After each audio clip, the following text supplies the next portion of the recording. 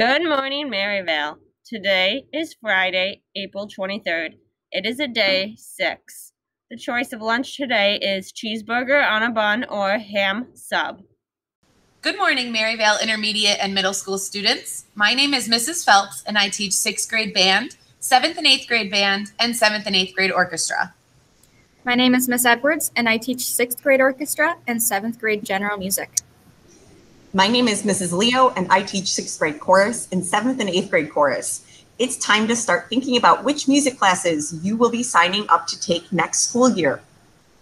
Attention, all current fifth grade students. Next year, you will have the opportunity to be in sixth grade band, orchestra, and chorus.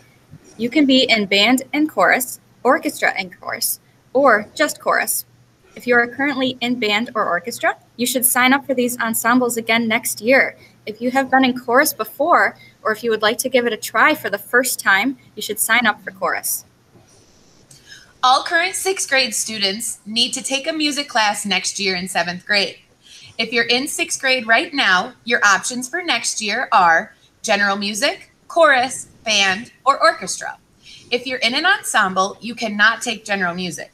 Students who pick general music cannot be in an ensemble. But if you are in band or orchestra, you can also be in chorus. You have to pick at least one music class to take. If you are in seventh grade right now, you have the option of signing up for ensembles in eighth grade. Chorus, band, and orchestra are all options.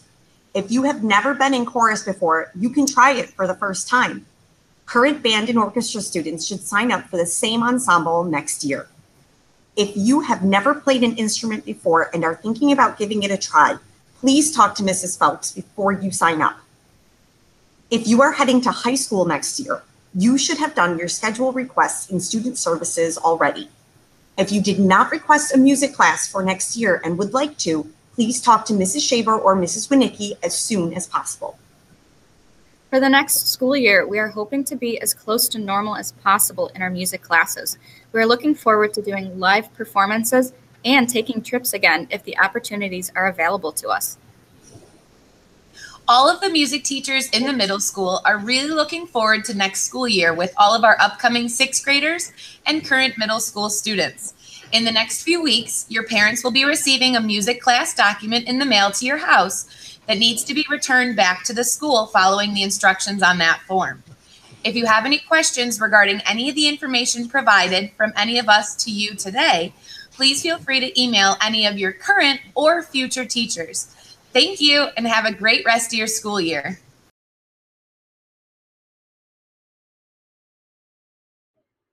Attention all 7th and 8th grade girls interested in playing softball this year.